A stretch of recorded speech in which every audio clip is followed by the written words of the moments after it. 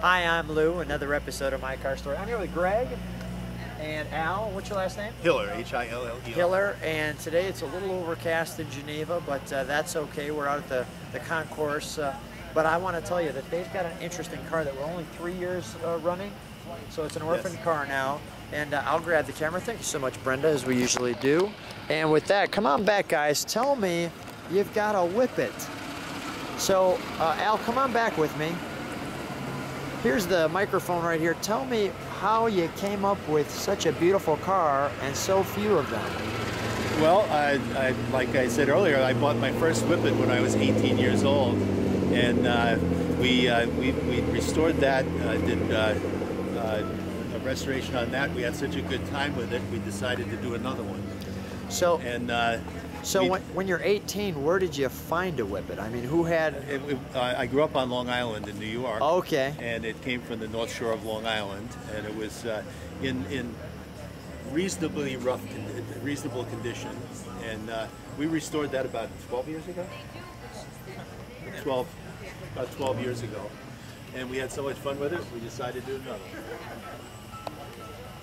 So the uh, I want to give people just a little bit of detail there on the Whippet, so they can pause on that if they like. But uh, comparably, it's a relatively small car. You know, it's not a very large car. And they were marketed as small cars for women. They were uh, when Willys uh, designed the car, he was uh, in Europe, and he saw the Fiat, and he was impressed by the design of the Fiat, and actually uh, had his designers uh, design the front end of this car, so it's very much like a Fiat. Okay. Of that, uh, so if you look at a 20s Fiat, you would be you'd see that same similar uh, shape. Okay. So and uh, it was marketed because of the size for women, and uh, but uh, it wasn't too long because it was small and light and had uh, pretty good gearing. It was a quick car, so it, it, uh, young people started buying the car because it was fast. So back to the young person. Come on with me, Greg. come on, come on. With uh, tell me some of the features of this car. I love the uh, little Whippet can. That must have been a little challenging to find. Tho- That goes under the hood. Okay, and then you've got the uh, the kick plate there. Let's see under the hood. Tell me about the engine, Greg. These engines, they were built pretty pretty well. They're very uh, economical. They, Okay. uh, there, there were uh, speed runs in the day. They were able to get uh, uh, up to 55 miles to the gallon. Uh, they were uh, advertised as one gallon of oil per thousand miles. Uh, and uh, it's basically it's the predecessor to the Jeep engine, which became the Go Devil engine and helped win World War II. Uh, and it's a it's a robust little car. These uh, these engines lasted a lot longer than the cars. Uh, they would after the cars.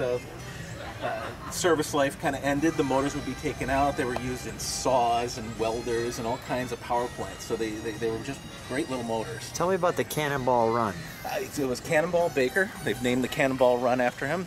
And he used to go around. He would do speed runs. He would do an economy runs. And uh, they uh, Willys Overland contracted him to do this speed run, and it was uh, officiated by AAA.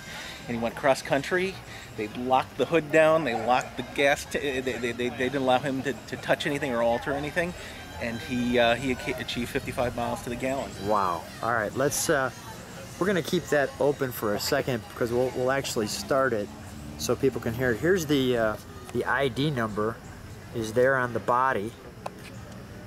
And uh, tell me how that works, Greg. How's that ID, ID number work out? It was a sequential number. Uh, the first two numbers are the uh, the model, so it's a model 96, and then uh, it's uh, 216 uh, 558. It's uh, just a, like I said, a sequential number. And then this is kind of interesting. I said, so what's this little gauge back here? What's this mean? That's and you told gauge. me there's the fuel gauge outside the car. Yeah, if you're going to run out of gas, you better you, you need to know ahead of time. but but it had a rumble seat. Al, come come with me for a second. Tell me about. I, I had mentioned. I said, boy, you know, this car's so so short. Tell me about that back window. Well, it, they advertised that was a marketing thing that they used. Uh, it's a glass window that's uh, in a wooden frame, and that whole uh, piece would move would be removable so that uh, you could talk with people in the rumble seat while you're driving. That's awesome. Okay, and we've got the the wonderful. I mean, And this color, what color is this? Turquino blue, they called it. Turquino blue. which, but it always It every looks a time, little looks like a little seafoam green, but every time you see Turquino blue, there's always a parenthesis after it that says, says green. is that right? and Greg, you were sharing. We've got four-wheel brakes here. Four-wheel brakes. They have uh, internal expanding brakes in the front, external band brakes in the rear. Uh, it was unique for a car in this price range. Uh, was, they, were, they were one of the first to have things like uh, they, they advertised it as a safety feature, as a, as a real bonus to have uh, have that braking capability. I'm gonna jump back just so you can get an overall look at the back of the car here.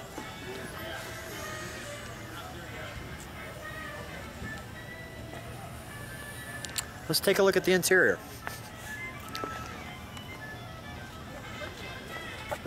Love the wheels. Those are, uh, you're able to get those now again, as Yes. eBay can be our friend. They uh, they have the original molds for those, and they can remake the they remanufacture all the time. for Sure. Al, let's open the interior. Show me the, uh, the interior. Yeah, I'd put a few couple of things in here. Uh, simple gauges, just uh, um, speedometer, oil pressure, and ammeter. Not much uh, else was needed. Three-speed transmission. Lever on the steering wheel was a uh, um, throttle control, so you had a, man- a throttle on the on the steering wheel, sort of like a cruise control. And they've got wiper. That's a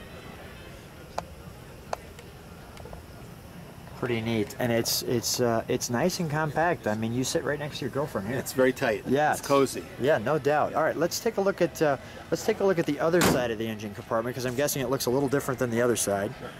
Yeah. The Falcon chassis, the Falcon chassis was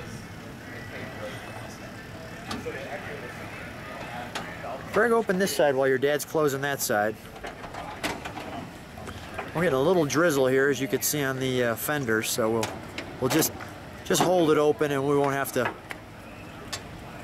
There's the exhaust side of the car.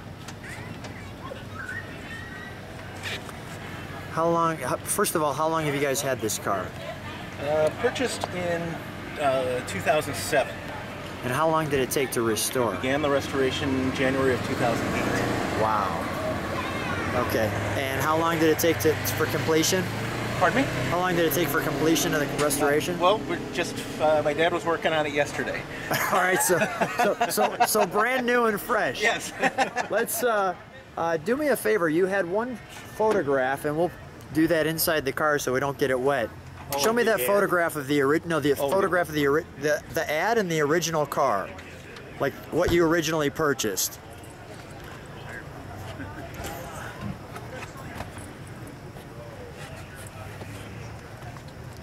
Yeah, keep it right in there.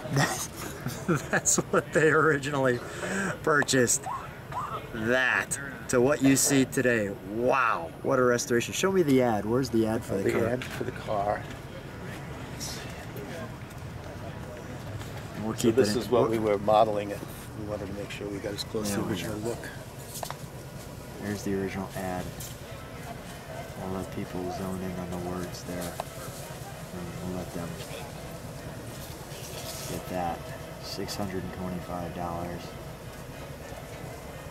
Wearing the raccoon coat and the girl on your arm. Awesome. All right, let's uh, let's jump in and start it, would you? Uh, well, I could do that. You want to turn the gas on there?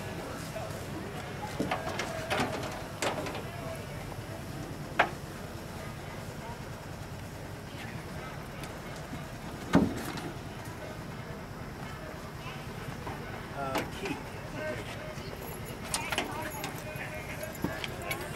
A mirror on the door there that, swings with the door.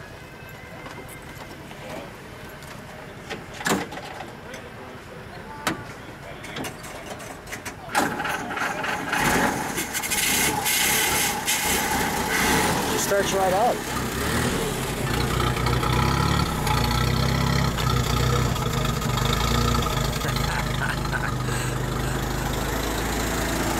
She sounds great. All right, let's shut her down. Hop on out. Let me have. Uh, no, I would just, he's doing this TV thing, so I'm going to let him finish. No, you're right, Bob. I want to talk Let's have you stand right next to it with your son there. hey guys, thanks so much. Wonderful restoration. Thanks for bringing the unique car out, and uh, the viewers will enjoy it. Thanks for your time. Thanks for being Oh, on My. Car Story. Thank you very much. Thanks a lot.